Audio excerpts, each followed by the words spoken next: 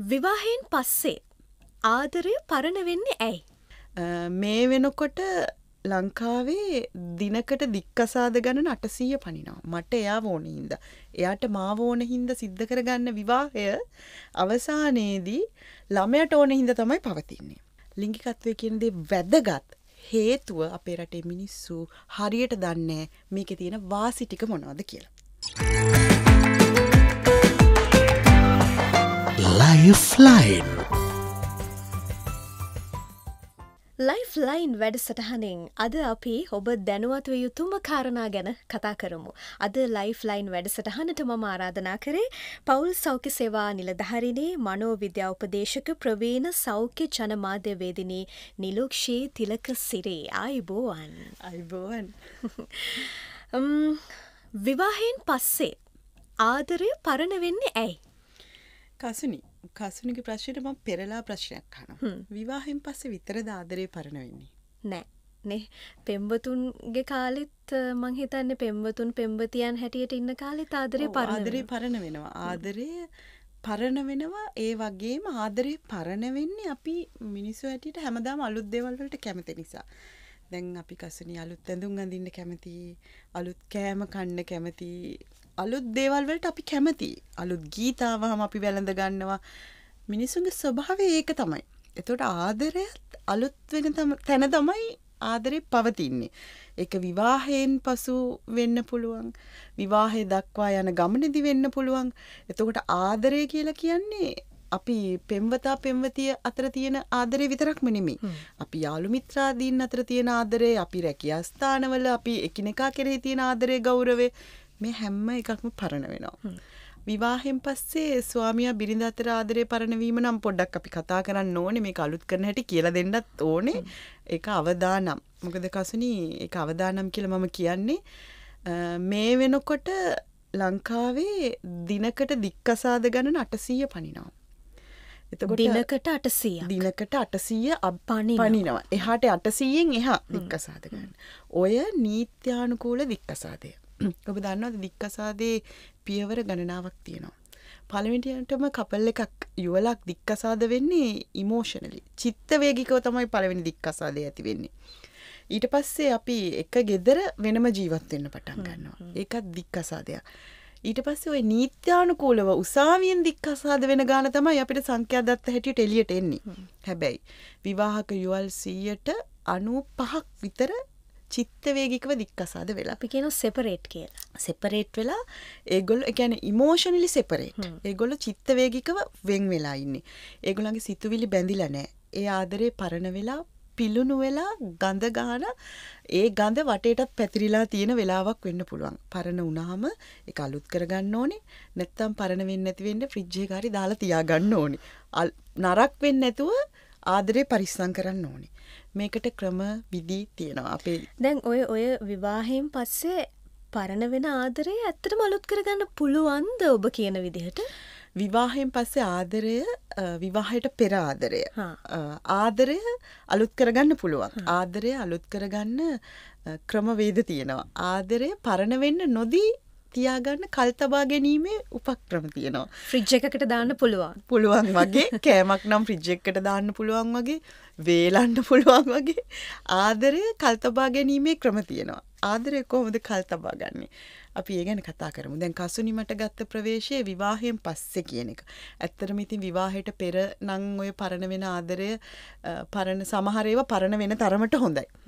එතකොට දැනෙනවා මේක කෑවොත් මට ඇලර්ජි. මේ ආදරේ මට මේ ආසාත්මිකතාවයක් ඇති කරන්න පුළුවන්. මේ ආදරය තුල මේ බැඳීම තුල මම තවදුරටත් ගියොත් එහෙම මට මේකෙන් ඩැමේජ් වෙන්න පුළුවන්. ආ එතනදී නතර වෙලා අලුත් ආදරයකට ගියාට කමක් නැහැ.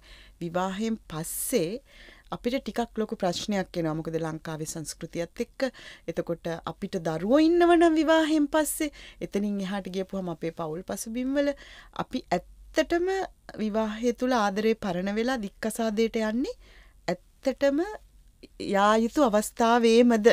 විවාහෙන් පස්සේ දික්කසාදයට යන්නේ දික්කසාදයට යන්න ඕන අවස්ථාවද කියන ප්‍රශ්න තියෙනවා. එතකොට අපි දැනගන්න ඕනේ විවාහය තුළ ආදරය පරණ නොවී තියාගන්න. කසනි දන්නවද? මට මම කවුන්සල කෙනෙක් හැටියට ඉන්නකොට සහ මිඩ්වයි් කෙනෙක් හැටියට මගේ ජොබ් එකම පවුලත් එක්ක ඉන්න එකන. එතකොට මේ මංගාවට සමහර කවුන්සලින් වලට එන යුවල් කියන කතාවක් තමයි ඉඳගන්න පටන් ගත්තහම මම මේ දරුවෝ නැත්තං මෙලහට මේාව දික්කසාද කරලා. මම මේ මනුස්සයත් එක්ක ඉන්නේ මම ඉන්න මේ ළමයි හින්ද. මම මේ ගෑනු ගෙනත් එක්ක ඉන්නේ මගේ ළමයිට අම්මෙක් නැති වෙනවනි කියලා තමයි. හැබැයි විවාහ වෙන්න ළමයට අම්මෙක් ඕන හින්දද? නෑ මට එයා ඕන හින්ද. එයාට මාවෝන හින්ද සිද්ධ කරගන්න විවාහය අවසානයේදී ළමයට ඕන හින්ද තමයි පවතින්නේ. එතකොට කසුනී මම දකිනවා විවාහ ජීවිතේ කොකු හතරක් මත තමයි විවාහ ජීවිතය තියෙන්නේ. කොකු හතර කොකු හතර දැන් ඒ කොකු හතර ගැන ගත්තහම ඉස්සලාම විවාහකට යන්නේ කසුනි රූපය. අපි හරි ලස්සනට රූපය ගැන හිතල තමයි ඔන්න දැක්කහම මං මෙයාට කැමති. ආකර්ශණය ආකර්ශණය එයා නංගොන්න මගේ. ඔයා මගේ කියන ඒ ආකර්ශණය මත රූපයට ආකර්ශණය වීම මත තමයි පලවෙනිටම විවාහ කියන සංකල්පයට ඇතුල්ලෙන්නේ විවාහෙන් පස්සෙත් මුල්ටිකේ හරි ලස්සන්ට ඉන්නවා. දෙවනි එක තමයි ඊළඟ කොක්ක තමයි පිරිසිදුකම. කොච්චර ලස්සන වනත් එය පිරිසිදු නැත්තං ඒ පිරිසිදුකම කියන කොක්ක නැත්තං විවාහය රැඳෙන්නේ පිරිසිදුකම කියන කොක්ක මත ඔන්න විවාහය ශක්තිමත් වෙනවා. ලස්සනයි පිරිසිදුකමයි කියන කොක්කු දෙක මත ලිංගික ජීවිතය. ලිංගිකත්වය කියන කොක්ක ඔන්න ශක්තිමත් වෙනවා. ඔන්න දැන් කොකු තුනත් තියෙනවා. රූපය පිරිසුදුකම ලිංගිකත්වය කියන ඔය කොකු තුනම තියෙනවා. විවාහෙන් ටික කාලයක් යනකොට පිරිසුදුකම රූපය කියන කොකු දෙකම නිකම්ම අපි දන්නෙම නැතු අපෙන් ගැලවිලා යනවා. එමං කියන්නම් කොහොමද කියලා. වැඩට වැඩ ඇරිලා වැඩට යන ගැහනුනේ අපේ රටේ ඉන්නේ. වැඩි හරියක් වැඩ ඇරිලා වැඩට යන ගෑනු සාරියන්දින කාන්තාව අන්ඩස්කට්ට කුටට කරලා ඇඳගත්තා ගෙදර වැඩ ටික කර. දොස් කියන්නේ මොකද කාන්තාවන්ට තියෙන ඒ තරල් ලොකු පීඩනයක්. වැඩ ඇරිලා වැඩට යන ගැහැනු ඉන්න අපේ රටේ. එතකොට ඔන්න සුන්දරත්වය ගැන කොක්ක කැඩලම දැම්ම. පිරිසුදුකම ගැන හිතන්න වෙලාවක් නෑ ඒ දෙක්ක බිඳිලා යනකොට ලිංගිකත්වය කියන කොක්ක ඉබේම ගැලවිලා යනවා. ඔන්න ඊට පස්සේ එක කොක්කක් ඉතුරු වෙනවා. ඒ තමයි දරුවෝ. දැන් අර මුල් කාලේ ලිංගිකත්වය සුන්දරත්වය රූපය ඔය ඔක්කොම තියෙන කාලේ දරුවෝ හදනවනේ. ඊට පස්සේ ඔන්න ඉතුරු වෙන අන්තිම කොක්ක තමයි දරුවෝ. අන්තිමට විවාහ ජීවිතයේ සියලු කොකු ගැලවිලා අර දරුවෝ කියන කොක්ක මත ඔන්න මෙන්න කඩා වැටෙන්න එල්ලි එල්ලි පැද්දි පැද්දි කොයි වෙලාවෙ කැඩිලා බිඳිලා විසි වෙලා යයිද කියන අස්ථාවර පවුල් ජීවිත තමයි අපේ රටේ ගොඩක්ම තියෙන්නේ. විවාහෙන් පස්සේ ආදරය පරණ වෙන එක අහන්ඩ දෙයක් නෙමෙයි. මොකද මේ කොකු හතර පිළිබඳව අවබෝධයක් තියෙන්න ඕනේ විශේෂයෙන්ම දැන් අපි ඇහුවොත් කෙනෙක්ගෙන් ඔන්න දැන් මම සාර්ථක පවුල් ජීවිතය ගැන කරන දේශනවලදී මං අහනවා කියන්නකො බලන්න සාර්ථක පවුල් ජීවිතයකට තියෙන්න ඕන ලක්ෂණ මොනවාද කියලා. දැන් කසුනි අවබෝධය විශ්වාසය සෙනෙහස රැකවරණය ඔක්කෝම එක පෙළට කියාගෙන යනවා එහෙමත් කෙනෙක් තමයි කියන්නේ ලිංගිකත්වය කියලා. අර සියලු කාරණා තියෙන්න ඕනෙ වගේම සාර්ථක පවුල් ජීවිතයක තිබිය යුතු ප්‍රධානංගයක් තමයි ලිංගිකත්වය කියලා කියන්නේ. මේ ලිංගිකත්වය කියන කාරණය නිවැරදිව පවතින්නේ නැති පවුල් ජීවිත තුළ ආදරය පරණ වෙනවා. විශ්වාසය කොච්චර තිබ්බත් වැඩක් නෑ හොඳ ලිංගිකත්වයක් නැත්තා. ආදරය කොච්චර තිබ්බත් වැඩක් නෑ ලිංගිකත්වයක් නැත්තක්. ඔන්න දැන් චෝදනාවක් එන්න පුළුවන්. මේ ඕව නැතුව ජීවත් වෙන්න බැයිද? ලිංගිකත්වය කියන්නේ ආදරේමද? ලිංගිකත්වය නැතුව පවුල් ජීවිත නැද්ද? තියෙනවා නම් හොඳයි. එතන තමයි මම මේ නැවතිලා හිටියේ. හරි ලිංගිකත්වය තියෙනවා කියමුකෝ ඔබ. තුමිය කියනවා වගේ හැබැයි ලිංගිකත්වය විතරක් ප්‍රමාණවද්ද කිසි මාතරයක් නැත්තං විශ්වාසයක් නැත්තං එයාව බලාගන්න නැත්තං රැකවරණයක් නැත්තං එයාගේ ළඟ හිටගන්න නැත්තං ලිංගික ක්‍රියාවට විතරක් ප්‍රමාණවත් නෑ පැහැදිලිවම නෑ. ඒකයි විවාහ වෙන්නේ ඇයි අපි? විවාහ ජීවිතය තුළ ලිංගිකත්වයන අපි කතා කරන්නේ විවාහ ජීවිතය තුළ ඕල්රෙඩි අරටික තියෙනවා. ආදරේ රැකවරන ඒගොල ඕන නිසා තමයි විවාහ වෙලා ඉන්නේ. ඕන නිසා තමයි තමන්ට තමන් ඕන නිසා රැකවරණය දෙන නිසා ඒක සංස්කෘතිකම වශයනුත් නීතිමේ වශයනුත් ඔයා මගේ නීත්‍යානුකූල භාර්යාව බිරිඳ කියලා මේ ස්වාමි පුරුෂයා කියලා බාර අරගෙන අර ඔක්කොම සංස්කෘතික ලක්ෂණ ඉෂ්ට සිද්ධ කරලා වෙච්ච පොරොන්දු මත්ත වෙච්ච විවාහ එක්ක තමයි අන්තිමේට අර ඔක්කොම තියෙනවා ලිංගිකත්වය නැති වෙනවා. මං කතා කරන්නේ ඒ ගැන. ඒ කියන්නේ ආදරය සහ ලිංගිකත්වය පටල ගන්න එපා. ඒක වෙනම කතාවක්. එතක ඒක වෙනම කතාවක් කියල මම කියන්නේ දැන් ඔන්න මගේ රෝහලට එනවා. සාමාන්‍යෙන් අපි ගමකු ලිංගික වෘතිය යෙදෙන කාන්තාව නීතිගත නැහැ ලංකාවේ. නමුත් ඉතින් කොමන හෝ විදිහකින් අපි මේ ලිංගික ක්‍රියාව සපුර ගන්නවා කියලා හිතන්න වෙන කෙනෙක්ගෙක් ස්පා එකක වැඩ කරන ගෑනු ළමෙක් ළඟදියනවා දරු ප්‍රසූතියකට. රෝහලට එනවා. එතකොට මම දැම් බොහම හරි සමීපයි. මොකද මම මනෝ විද්‍යාත්මක කාරණ හාර හාරා හොයන කෙනෙක්. නිකන් කතාභාකල් හරි යාලු වෙනවා මාත්‍යකතින් කියනවා මේ මිස් මේ ඔෆිස්වල ලංචාවයකටත් පැයටත් ඇවිල්ල අපි ගාවට ඇවිල සතුට වෙලා යන්න මහත්තුරු ඉන්නවා. අපි යාලට ආදරය කරන්නේ එයාලා අපිට ආදරය කරන්නෙත් නෑ ලිංගිකත්වය ආදරය කියන එකක්ද කසනි?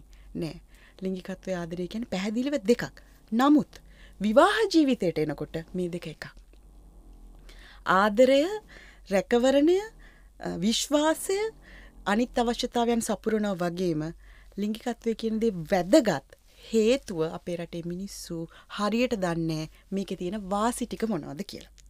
මේක තියෙන වාසිටික තමයි ගැහැනු කෙනෙක් සූරතාන්තය පිරිමි කෙනෙක්ගේ සූරතාන්තය තමන්ට කොච්චර ශාරීරිකව මානසිකව වාසි වරප්‍රසාද ගෙනත් දෙනවද කියලා අපි දන්නවනං මේක මං එයා වෙනුවෙන් කරන දෙයක් මේක මං මෙයා වෙනුවෙන් කරන දෙයක් නෙමෙයි මේ සූරතාන්තය කියන ක්‍රියාවලිය තුළ තමන්ට තමයි වාසියත් වෙන්නේ කියන එක තමන් දන්නවා. කැන ඔබ කියන්නේ මේ මම බිරිඳ වෙනුවෙන් කරනවා බිරිඳ කියනවා මම මේ ස්වාමි පුරුෂයා වෙනුවෙන් තමයි මේ ක්‍රියාවේ දෙන්නේ එපමණයි. එහෙම නැතිව හිතන්න. එහෙමන කියන්න එහෙම තමයි කියන්න මොකද මේ අපේ රටේ කාන්තාවෝ ගොඩක් වෙලාවට අනුගමනය කරන දුර්වල අසාර්ථක උපක්‍රමයක් තමයි පොඩ්ඩක් ඇත්තන් නිදිහන වර්ජනය කරනවා. ලිංගිකත්වය වර්ජනය කරනවා එන්න එපා මංගාවට. එන්න එපා දැම්මට ඊය පෙරේදා ආව කවුන්සරින්වලට හොඳට ඉගෙන ගත්ත කපල් එක එයාගේ හස්බන් මට පෙන්න්නනවා ඒකෙත් චෝදනාවනි අනියම් සම්බන්ධතාවයක්. බිරිඳ සැක කරනවා හස්බන්ට අනියම් සම්බන්ධතාවයක් තියෙනවා කියලා. එතවට දැන් ෆැමිලි කවන්සලින් වල දෙන්න වෙන වෙනම කතා කරදි හස්බන් මට පෙන්න්නනවා ෆොටෝ එකක්. ඒක තියෙන්නේ වයි ඇඳෙම් බිමට බැහලා කොට්ට අබදාගෙන නිදී. එයා කියන මැඩම් මේ මම එයාට කියනවා ඔයා ඇඳේ ඉන්න මං බිම ඉන්නම් කියලා. මොකද මං යාට එච්ච රාදරෙයි එයා කරන්නේ මාත් එක තරහ වුණු පලවෙනි මොහොතෙම එයා ඇඳෙන් බැහල වෙනම නිදාගන්නවා එම නැත්තන් දරුවෝ ඉන්න අය දරුවෝ ගාව මැදට ගිහින් නිදාගන්නවා තමන් ස්වාමි පුරුෂයා වෙනුවෙන් දෙන වරප්‍රසාදයක් කියල තමයි අපි හිතාගෙනන්නේ ස්වාමි පුරුෂය හිතාගෙනන්න මම එක වයිෆ්ට දෙන වරප්‍රසාදයක් කියලා. ඕගසම් එකක් තුළ හොඳ මානසික නිදහසක් මත ලබන සූරතාන්තයක් තුළ කාන්තාවන් පිරිමින් පහුවදා උදේට නව ජවයකින් තමන්ගේ ජීවිතය පටන් ගන්න පුළුව රිෆ්‍රෙශ්ද රිප්‍රේශ් වෙන. එතකොට එයාගේ මෙමරීක වැඩි වෙනවා. හොඳ මතක ශක්තියක් ඇති වෙනවා.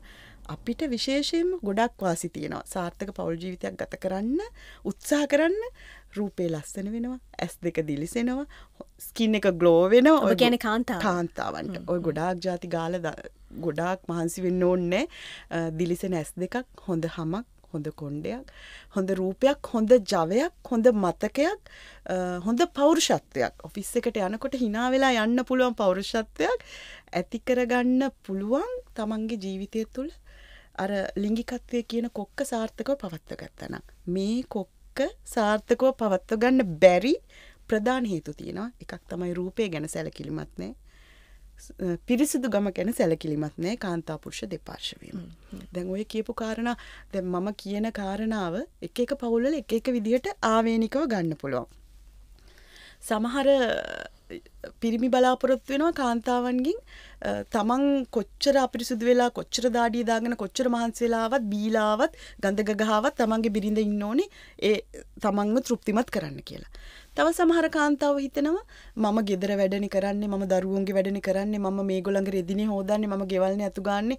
මට වෙලාවක් නැහැ මට රැයට දත් මැද ගන්න වෙලාවක් නැහැ මට රැයට ඇඳුම් මාරු කරගන්න වෙලාවක් නැහැ ඉතින් මම මේගොල්ල වෙනුවෙන් මෙච්චර 16ක් වගේ වහලියක් වගේ අම්මා කෙනෙක් වගේ වැඩ කරද්දි මෙයා මොකද අනිත් පැත්ත හැරලා නිදාගන්නේ? මෙයාට අනිවාර්යයෙන් වෙන කවුරු හරි ඇති කියලා හිතනවා. නිදිහන කියන්නේ වෙනම තැනක්. ඒක ගොඩක් ජාති තියෙනවා කසුනි කතා කරන්න.